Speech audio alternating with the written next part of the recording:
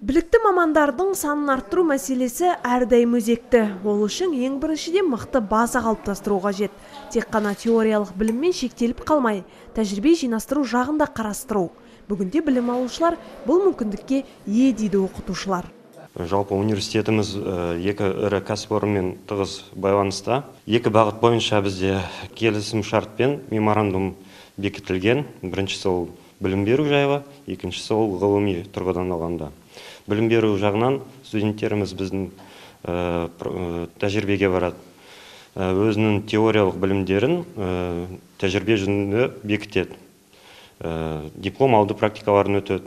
Ал екінші бағыт бойынша біздің ғалымдарымыз өндірісте пайда болған проблемаларын ғылыми тұрғыдан шешіп отырады. Әртүрлі кафедра филиалдарының ашылуы кәсіпорындар үшін де үлкен маңызға ие. Себебі білікті маман аз. Ал бұл мүмкіндіктің арқасында өндірістерде кадр тапшылығы жойылады. Білім алушылар мол тәжірибе жинап заманауи жабдықтармен және технологиялармен танысады. У нас открыты филиалы кафедр. Кәсіпорын базаларында біздің кафедра өз филиалдарын ашты. Ол жерде түрлі жұмыстар атқарылуда студенттеріміз білімдерін шыңдап жатыр. Тәжірибеден кейін олар сол жерге жұмысқа тұру мүмкіндігіне де ие болады.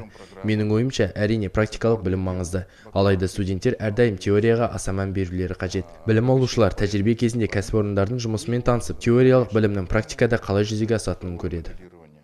Біріккен жоба елдегі техникалық саланы жақсартуға ықпал етпек. Бастама бәсекеге қабілетті кадрларды еңбекпен қамту мәселесін шешіп бұл мамандықтарға деген сұранысты қанағаттандырмақ. Ұмсындық наурызбаева жүрсін өмірзақ көкше ақпарат.